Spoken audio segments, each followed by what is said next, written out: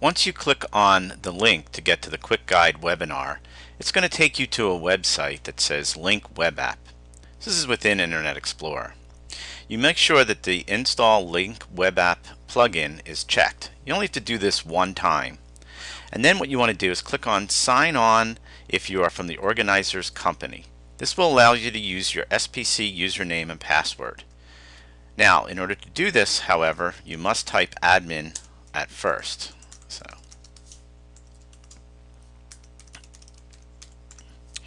then go ahead and click on Join the Meeting. When you do that, it'll ask you if you want to go ahead and download this program. And go ahead and click Run. It's going to go through the download process. Once the download is done, it will then go through the installation process.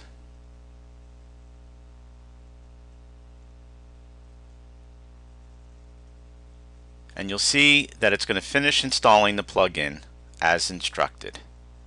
This may take a few minutes. Once the installation process is over, you're going to get a message that's going to say Microsoft Lync Web Plugin. You're going to checkbox always allow the plugin for this domain and go ahead and click allow. Once you do that, it may take a second or so.